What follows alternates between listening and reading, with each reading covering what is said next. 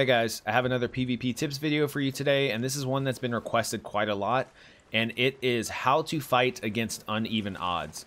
Some people say that they do pretty well in 1v1s, but the second it's a 1v2, they completely choke. So here are a couple tips to hopefully help you out when the odds are against you. First off, if you and your crew ever find yourself in this situation, just remember that you control the fight. The fight will follow you wherever you go, so you can use this to separate people, get people to bunch up, get people to follow you. Just remember this when you end up in this scenario so you can take advantage of the situation.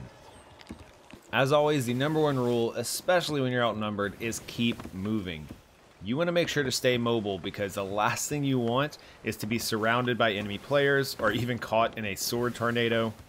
Keep moving, keep them guessing, and stay on your toes. The next thing you're going to want to do, if possible, is try and separate all enemy players. The fight will be much easier if you can just take it one player at a time.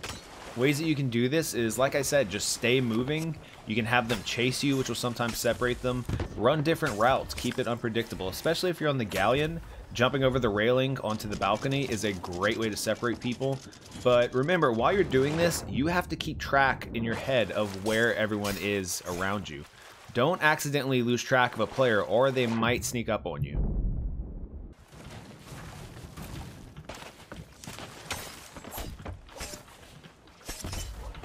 There's one.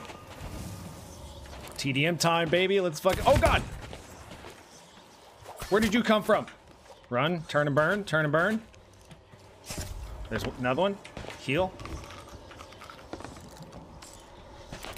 Nope.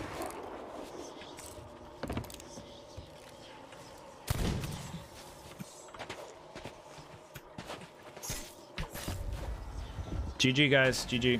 Really good fight. One good way to try and separate players is to drop their anchor. Typically, at least one person will try and grab it and take themselves out of the fight.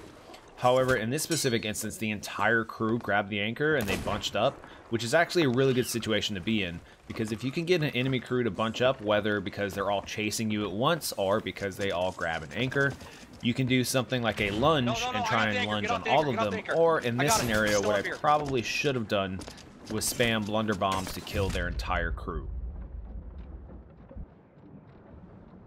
One of the biggest issues with being outnumbered is getting spawn killed.